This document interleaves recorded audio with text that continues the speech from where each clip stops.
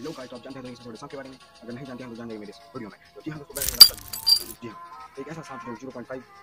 पर second centimetre पर second की स्पीड से अपना शरीर बदलता है एक ऐसा सांप जो दो सेंटीमीटर